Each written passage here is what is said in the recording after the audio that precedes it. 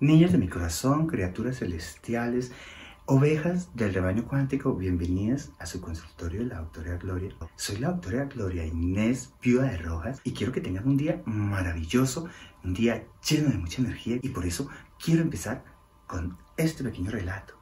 Extraído de mi último libro, Relato para Mujeres Superpoderosas, quiero hablarles de esta pequeña fábula que me pareció genial. Dice así, cierto día un matrimonio recibió la visita de una madrina. El hombre y la mujer estaban absolutamente felices por la visita. El hada muy bonita les dijo, les voy a conceder un deseo a cada uno.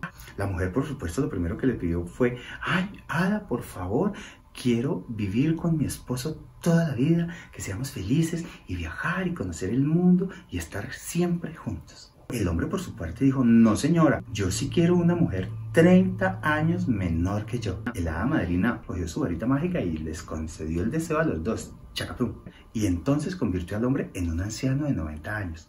Chicas, la moraleja es súper sencilla. Los hombres son unos pilluelos, pero las hadas madrinas son mujeres. Apoyémonos entre nosotras, porque estos infelices quieren acabarnos. Unámonos.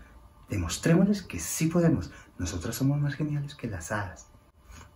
Pilar, Pilar, deje de hablar por teléfono. Vive colgada al wifi.